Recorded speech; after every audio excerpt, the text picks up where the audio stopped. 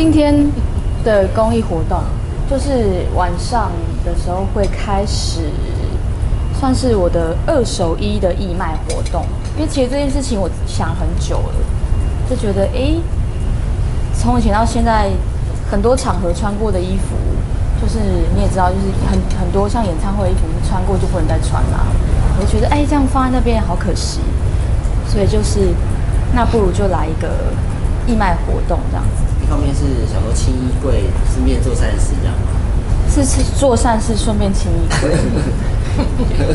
我前一阵子有试着煮东西给他吃，但好像有增增加他的压力。那时候煮了什么啊？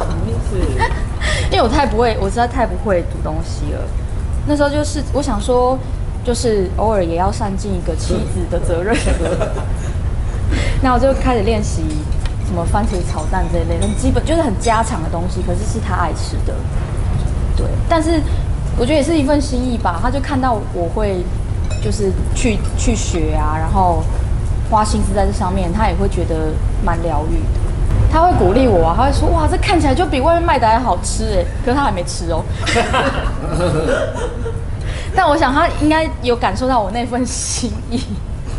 真的吃了之后，有啊，有吃还 OK，还身体还 OK，健康吗？他还健还健壮，感谢关心。